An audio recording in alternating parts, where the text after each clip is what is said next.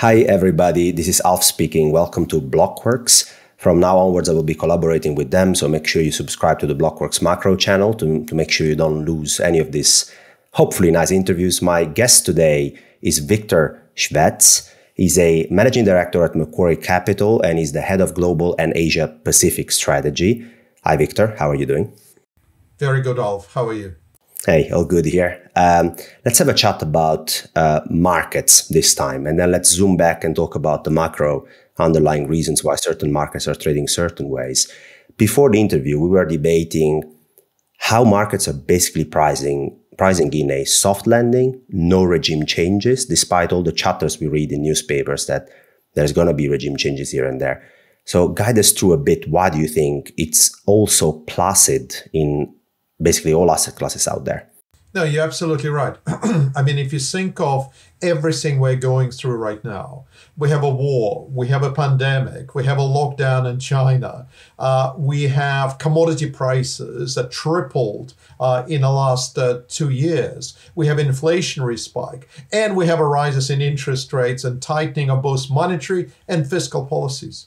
And if you think of the markets, uh, just, just look at the high yield spreads. just in the last three or four weeks, it's gone down to a normal level. It's uh, roughly about three and a half percent percent It's a little bit higher than 3% historic low, but usually this should be 6 uh, it should be 7%. Even triple C bonds, which is basically are defaulting or on the verge of defaulting, they are at about 7%. Normally it would have been around 12% or, or, or even more. Uh, if you think of equity markets, yes, they've suffered. Uh, but MSCI World is only down about 6%. As a considering what we have experienced, that's incredibly low. There is intraday volatility, there is quite a lot of intraday volatility. But if you look at VIX, if you look at any equity market uh, volatility indicators, they're very benign. There is a little bit more in currencies, but again, considering what we should be experiencing, it's really nothing. So the question is, why? Why is that? And to me, there are three reasons for that. Uh, number one, uh, clearly investors have decided that Federal Reserve's got it, uh, or central bank got it, in a sense that um, inflation is not going to run away uh, and they will control it as we go forward. Um, and, and, to some extent, you can agree with that because if you think of uh, inflationary outcomes right now, uh, even in the most inflationary countries, they're starting to come off. Uh, if you think of inflation break-even rates, things like five by five, they seem to be shaken a little bit, but they're really anchored still uh, at around 2.5%. If you think of wages outcomes, even in the more inflationary economies like US or UK, they're starting to come off. And there is no evidence of any embedding of inflation into wages. And certainly there is no inflationary spiral either in Japan, uh, China, or, or, or Eurozone. so the first area is that the market does believe that central bank got it and there won't be inflationary problem. I think the second related reason are commodities. I think investors have concluded that probably commodity complex is at its high point. Uh, and remember, all the indexes are delta, they're differences. So, in other words, commodity prices don't really have to collapse uh, in order to give you a neutral to negative reading uh, as you go forward. Uh, and so I think investors concluded that probably going forward, changes will be neutral or, or, changes will be negative rather than continuing to escalate as you go forward. And, and that's a big sort of support pillar. Uh, and the third area uh, is clearly that monetary policies at this stage are still quite accommodative. Uh, and that's related to where neutral rates is versus the policy rates. So in the case of the United States, clearly the policy rates are at least 200 basis points below neutral rates. In Eurozone, it's much less than that, but you probably still have at, uh, maybe 100 basis points in there. Uh, a little bit less in the UK. Uh, then if you think of Japan, clearly there is no capacity to tighten at all, but China is liquefying and China will be supporting liquidity as we go forward. So overall, generally, monetary policies are still supportive. All central banks need to do now is to basically execute what the market expects them to. Don't don't front run it. Don't try to be worse. just execute what you do. And so, a combination of those three things are really tempering down uh, the volatilities. But as you correctly said, Uh, this is sort of an immaculate lending. This is like a perfect lending. Monetary policy doesn't over tighten, fiscal policy doesn't over tighten, wars don't get out of control, geopolitics doesn't get out of control, the lockdowns don't get out of control. It's just a perfect outcome. Any one of those ingredients can lead you to a, a very different answer. Well, Viktor, this is a great intro. Let's unpack some of the concepts for the audience. So you discussed about neutral rate and you said, you know, the Federal Reserve from a monetary policy perspective is around about a 200 basis point away from this neutral rate. And markets are pricing in though a tightening cycle that will bring us above this neutral rate. So 250, 300 basis point of hikes are priced over the next 12 months. Could you please define for the audience what is this neutral rate and how do you believe that despite bond markets pricing the Federal Reserve to hike above this neutral level, so literally to tight restrictive levels, markets somehow are still pricing in that you know it's going to be a soft landing? Yeah, you, neutral rate, as you as you just highlighted, is basically a rate at which economy neither stimulated uh, nor it is in a contractionary mode. Now, it's not an observable number. Uh, it's nobody really knows what it is, but there is plenty of literature out there trying to compute the levels based on demographics, productivity, technology, long-term structural issues. And generally speaking, the view is that U.S. real rates are about should be about zero. Now, if you take a sort of five by five inflationary break-even rate, that gives you the nominal rate of call it around two and a half percent, and that's why you have about 200 basis points. And Viktor, sorry, the five by five inflation break-even rates for the audience, we're talking about how market participants, so the collective intelligence, let's say, of fixed income participants, expects US inflation to be between 2027 and 2032. So five year ahead, five year inflation expectations as you were saying, Viktor, around 2.5%. That makes a nominal rate of around about 2.25, 2.5%. Is that correct? That's right. That's right. That's right. And so there is about 200 basis points uh, in order to reach that level. Now, we can debate how much neutral rates could change over time. Uh, and whether they will go up or go down. I, I, think the chances side actually will continue going down as we go forward. Uh, but we can debate that. Um, and, and so the market is actually assuming them to become restrictive.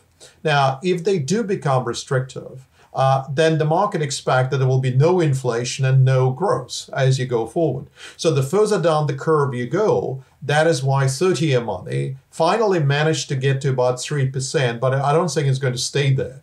Uh, and so what you see is a flattening of the yield curves occurring.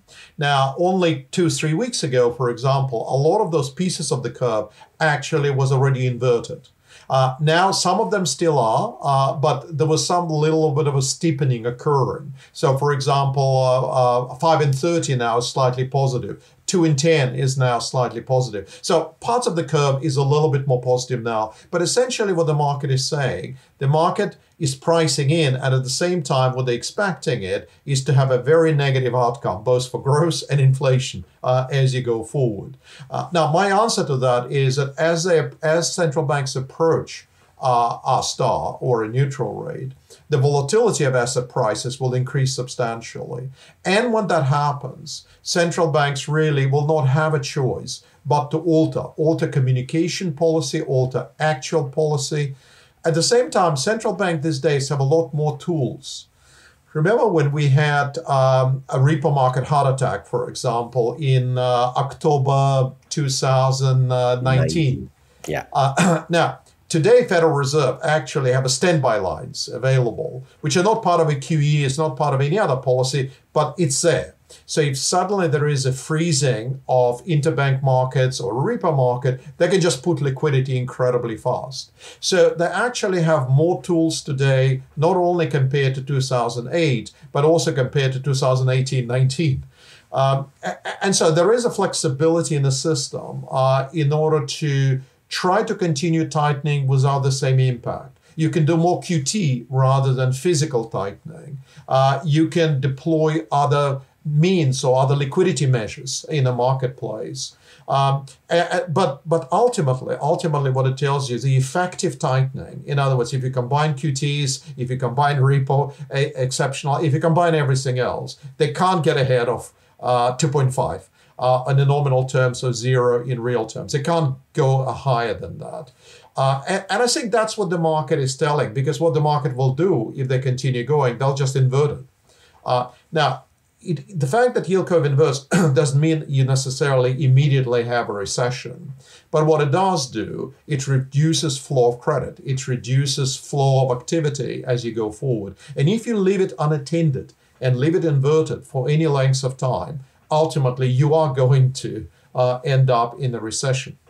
So, Viktor, basically we have a bond market which is already smart enough to understand that ultimately the Federal Reserve and other central banks can go with the hiking cycle, but it's going to be a relatively short one. And once they reach, you know, in the US, around about 2%, 2.5%, ah, that's it. And they're signaling it via an inverted yield curve over very long tenors. So we go to this 2, 2.5% pretty fast. And then basically the bond market is telling you that's it credit spreads are also relatively tight compared to a you know declining growth economy wars pandemics geopolitics all these potential tail events.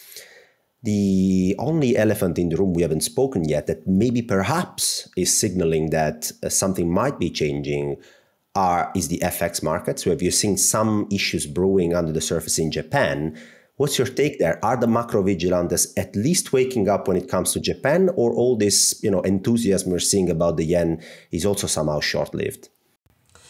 well, of course, what we see right now, in my view, is uh, a globally coordinated tightening. Um, so not only we have a globally coordinated fiscal policy which is being tightened, but we have a globally coordinated monetary policy that being tightened. Now, because you have a globally coordinated policy, the opportunity for arbitraging the yields, in other words, hunting for yields, becomes a little bit less pronounced. Uh, but, but there are a couple of places where there is a discrepancy in policies. Uh, one of them is China, but China controls its currency, uh, and China controls its capital account. Uh, but nevertheless, China on the opposite side of everybody. Uh, as everybody tightens, they're liquefying their spending. The other one is Japan. Uh, and as I said, in Japan, we can debate what is R square, or sorry, R star. But the view generally is that it could be anywhere from negative 50 to negative 100 basis points. Uh, now, compared to zero, for example, in the United States, giving very low inflationary expectations, it basically tells you that the policy rates in Japan are either already above the neutral rate or they are at a neutral rate. So there is no capacity to tighten at all. Uh, and so Japan has to pursue uh, a, a, policy that is opposite to what the United States is doing, opposite to what Eurozone is doing. Uh, and the outcome is either central bank or my Ministry of Finance really interferes in the marketplace. Alternatively, it will be reflected in the currencies. Uh, and that's what's happening because central banks is not into but BOJ is not interfering and hasn't been interfering. It all flows through into the currencies, and that's why you can see 130. You can see even more uh, on the Japanese yen exchange rate. Uh, it's purely misalignment uh, of policies between bulk of the world and Japan. As I said, it's not reflected as much in China. It should be. I mean, renminbi should be heading to seven, uh, if not if not even higher than that. But because of the control the Chinese government has, you don't see it. But in Japan, you do. Uh, and so there is a dilemma now in Japan as well, because they're starting to import more inflation uh, into Japan. So you have commodity prices, you have currency importing, inflation starts picking up. Uh, and so it's, it's, a, it's a difficult situation because they can't allow rates to go up, uh, given the leverage that Japan is maintaining. Now, interestingly, if we look at uh, the spot moves in Japanese yen, they seem pretty scary. So we're going towards this 130 psychological level against the dollar. But we discussed before the show that if you look a bit under the curtain and you look at implied volatility that traders are pricing in options over the next one year, you end up looking at a JPY USD implied volatility of about 8 to 9%, Viktor. I mean, if somebody would tell me 8 to 9% as an annualized volatility means round about half a percent of daily move, more or less, that's it. Half a percent of daily move is not really much, isn't it, if you expect fireworks in Japan? So even then, Market participants, again, are very calm and very placid. So, what do you make out of that? Because they don't believe that this policy differential will last. exactly what we just discussed. they saying that Federal Reserve will do a couple of more moves. the market volatility will increase because remember, of course, long term is a sequence of short terms plus a premium attached to it. So theoretically, what Federal Reserve is doing should be translating across the curve, but it doesn't it, it doesn't translate like that. And the reason doesn't translate like that because market doesn't believe. So the short end prices what Federal Reserve will do. The long end prices what will happen if they do it. Uh, yes. Uh, and essentially, and so what the market is saying is that that differential uh, between Japan and the rest of the world will disappear. Uh, and it could disappear quite quickly. In other words, it might not last uh, terribly long. Yeah, I think I have to agree, and especially your sentence on the long end prices in what happens if they follow the short end pricing is a pretty remarkable one. Good summary. Um, so we are talking about several corners of the market, Viktor, that are that assume their strong base case is that ultimately there's going to be a soft landing and that monetary and fiscal authorities have and will keep control of what's going on. Now, most of this is based on the fact um, that policies will not be hiked way past what we define being a neutral rate. So, you gave some numbers away and you said that in the US, this inflation adjusted neutral rate is around about 0%. In Japan is negative. In Europe is negative too. So, shall we take a step back and discuss how do consensus reaches those numbers? So why would in the US the equilibrium real interest rates be 0%? I mean, how are what are the drivers behind this so-called R star? And that's an interesting thing because central bank policies are really short term uh, and very, very short end. Whilst R star they're aiming for is a long term concept. Uh, it's structural changes in the economy. Uh, it's a demographic and demographic trends. It's productivity trends. It's regulatory trends. It's anything that impacts supply of savings and utilization uh, of savings in various investment. So it's a hard job for central banks to do when they are aiming to change the short-term rates when they're responding to very long structural R star uh, that could be moving very, very slowly or very sharply, depending on how assets are utilized. That's your Bernanke old concept of surplus of savings, for example, uh, that is depressing rates. Uh, that's part of it is corporate investment and why corporates are investing more in share buybacks or financial speculation rather than investing in infrastructure or building or productivity. Uh, that's also your multi-factor productivity. Why most of the world have been reporting declining uh, total factor, multi-factor productivity, uh, its demographics, and, and the labor force. So essentially, in the US, most of these answers have been more positive than they were in Eurozone or Japan. Whether you look at demographics, whether you look at productivity, uh, whether you look at uh, uh, supply of capital, all of those things were more positive in the US. And that's why US is at a high level. But having said that, uh, you have to remember that about 25, 30 years ago, uh, the R star for the United States was roughly around 3%. Wow. So if you had uh, inflation expectation of 2% or 3%, that's where your policy rates were at 5%. So even in the United States, uh, it has been a period of very sharp contraction of R star uh, over the last sort of two to three decades. Yeah, and actually, the labor force growth uh, tends to play quite a role there. And as population ages across the world at different speed, but it does age across jurisdictions.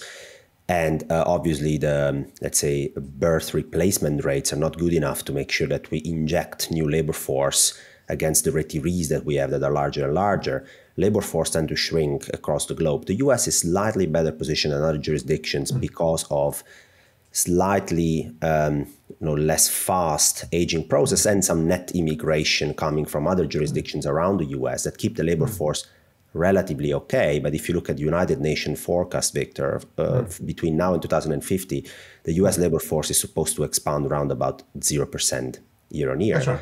And okay. China, Japan, and Europe, and Russia, and many other jurisdictions will see the labor force shrink.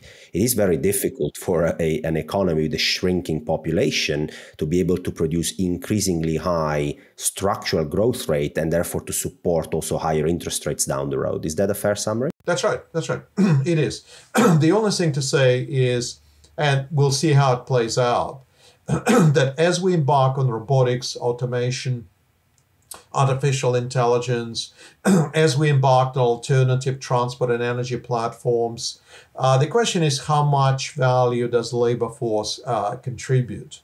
Uh, in other words, this is your replacement of the labor force. Yeah. and therefore, can you actually grow multi-factor productivity at a faster clip uh, to offset uh, lower labor contribution. Uh, but you're totally right. Even if you don't worry about 2050, just look at 2030. At 2030, uh, U.S. Uh, average aging and labor force will be about the same level where Japan was around 2000.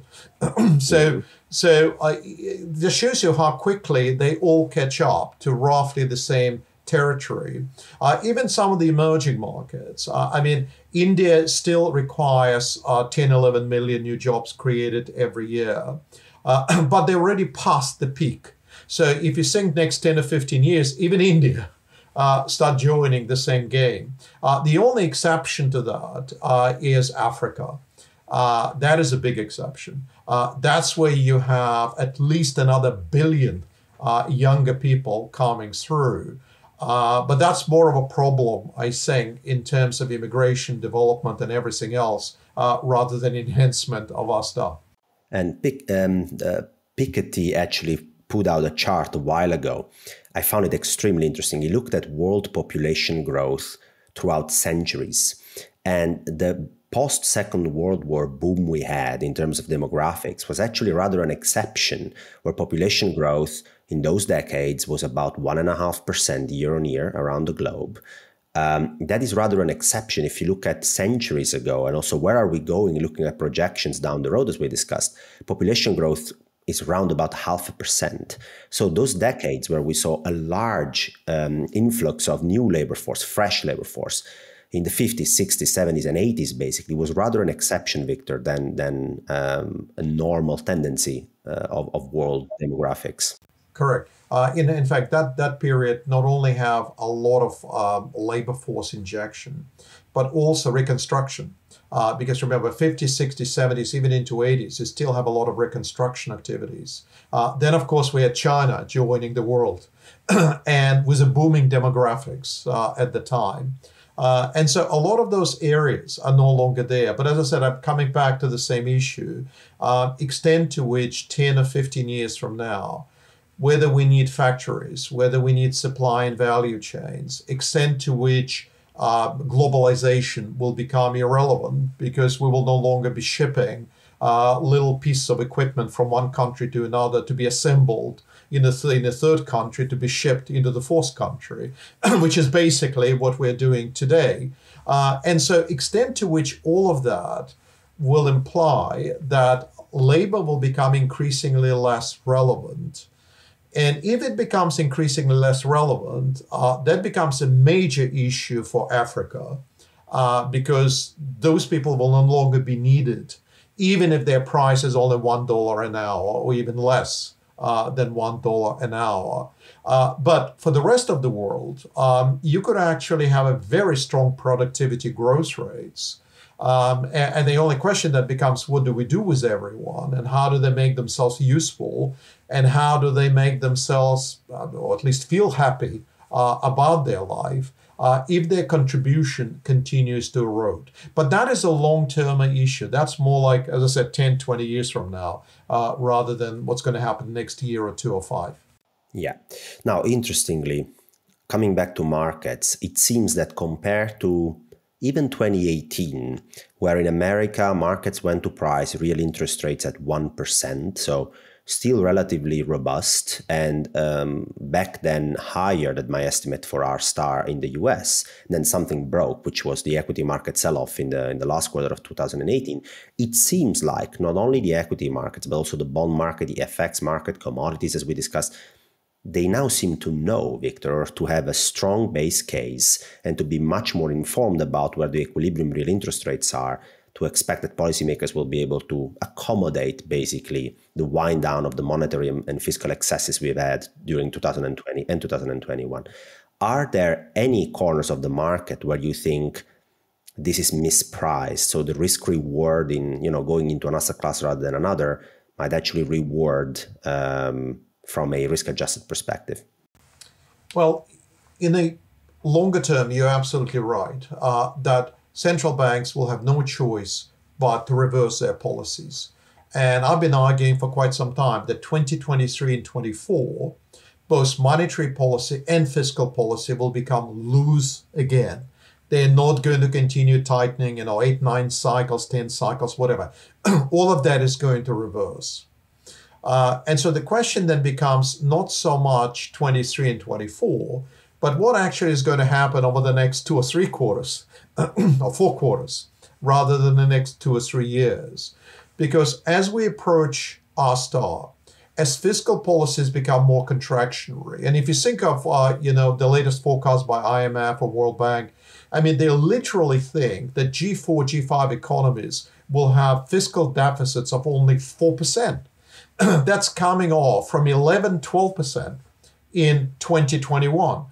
so as we continue to contract both fiscal uh, and monetary policies, as we get closer and closer to R star, volatility of asset prices must increase. Now, that implies that certain areas will be the most exposed.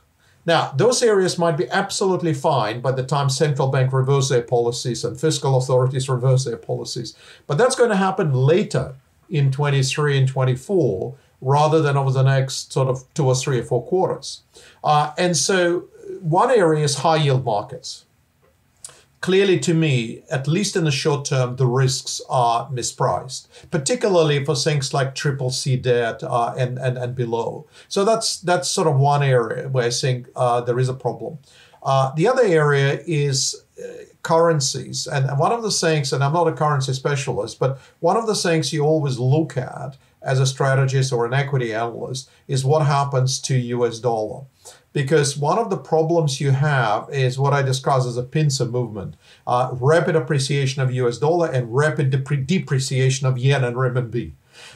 and so it is quite possible that over the next couple of quarters, instead of just crawling a little bit higher, we could have a very significant jump in US dollar and another very significant leg down both in yen and renminbi.